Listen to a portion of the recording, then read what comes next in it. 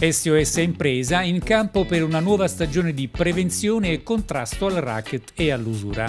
Si è svolto martedì 21 luglio nella sala giunta del Comune di Napoli un incontro tra le associazioni e il coordinatore nazionale alle attività anti-racket e anti-usura, il prefetto Santi Giuffre. Ad intervenire il sindaco di Napoli Luigi De Magistris, il quale ha sottolineato l'importanza della collaborazione tra le istituzioni e le associazioni.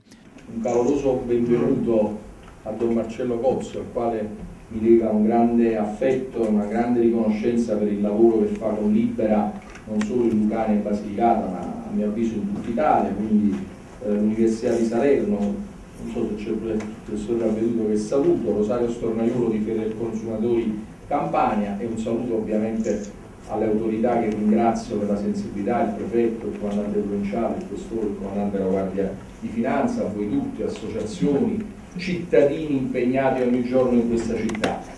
Purtroppo Napoli è sempre protagonista di fatti di sangue, ha spiegato Luigi Cuomo, presidente nazionale di SOS Impresa ma è anche vero che ci sono tanti arresti eccellenti che stanno smantellando giorno dopo giorno, grazie all'azione congiunta tra magistratura e forze dell'ordine, interi clan.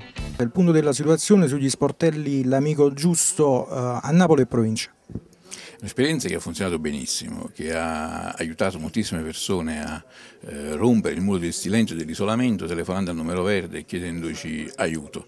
Eh, in molti casi siamo riusciti a intervenire anche eh, convincendo che l'unica soluzione era la denuncia, in altri casi stiamo ancora lavorando. Eh, certo ci sono arrivate anche segnalazioni di natura diversa, più figlie della crisi economica che stiamo attraversando che di una vera e propria minaccia criminale, estorsiva o usuraia.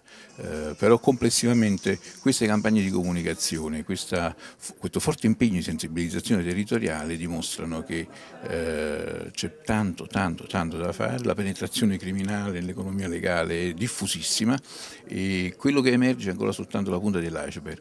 Eh, c'è bisogno di uno sforzo più corale, c'è bisogno di uno sforzo che coinvolga gli enti locali, che coinvolga, coinvolga il mondo dell'associazionismo, non soltanto eh, diciamo, anti-racket, anti-usura, ma anche religioso, diciamo, anche del mondo del lavoro. La rete degli sportelli Amico Giusto vede coinvolti il Comune di Napoli, i comuni di Quarto e Pozzuoli e altre amministrazioni in provincia di Salerno.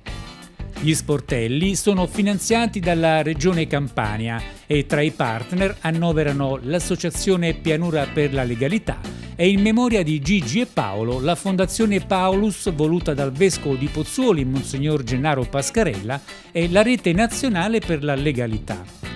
A 20 anni dalla legge, ha dichiarato Don Marcello Cozzi, responsabile di Libera per la regione Basilicata, si sono fatti grossi passi in avanti. Ma è necessario un aggiornamento poiché il racket e l'usura sono cambiati.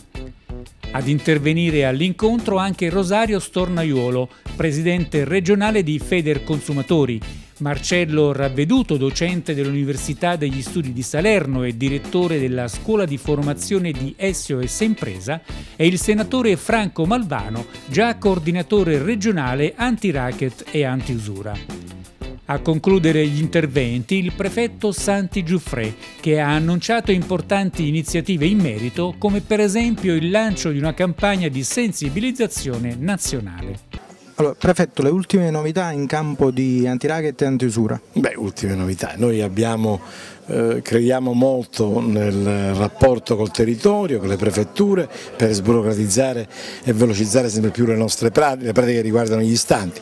Crediamo molto nella presenza del movimento associazionistico che ha dato straordinari risultati. Chiediamo che questo mondo guardi anche oltre e possa proporsi col brand che ha, con la forza che ha, come crescita sociale del territorio, sensibilizzazione e cultura della legalità, saper consigliare la gente su come scegliere i propri esercizi commerciali, sono cose che eh, danno una marcia in più alla lotta del bene contro il male, al, a uno schieramento sempre più netto che non riguardi solo gli istanti, le vittime, ma che riguardi tutta la società civile.